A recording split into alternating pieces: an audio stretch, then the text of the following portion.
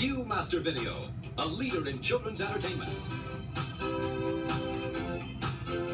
And Warner Brothers Records, a pioneer in the music video industry, present a Together Again video production of Kidsongs.